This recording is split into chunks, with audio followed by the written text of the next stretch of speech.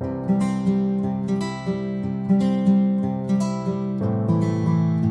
and welcome to today's LinkedIn Minute. I'm so glad you joined.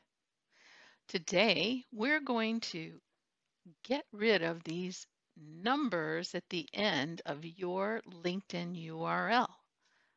So today's lesson's all about streamlining your URL so you can put it on your business cards or include it in your email signature.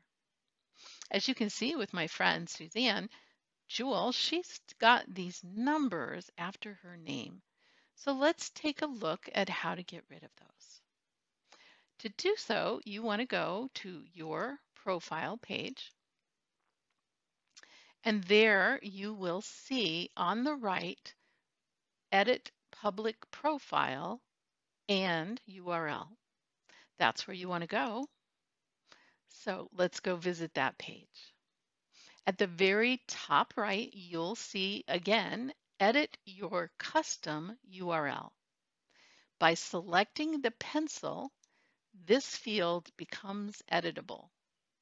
What I recommend you do is back up and eliminate all of the numbers, any hyphens, underlines, or special characters, and then start playing the LinkedIn lottery game to try to find a URL that uses primarily your name or your first initial and last name, as in this case, your full first name and last name, your full first name and middle initial and last name, and you get the idea. You might have to take a few uh, different angles to see if you can find it, uh, one that's available. You're looking for an available URL that no one else is using.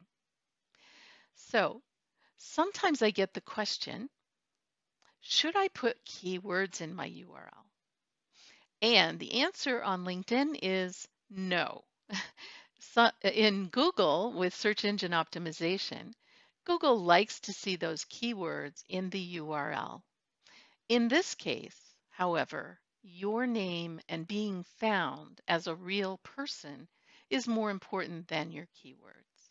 So once you've won the lottery and found a combination that's available that isn't too long, uh, isn't war and peace, uh, then you should save your selection and then reload the page and you'll see your new URL.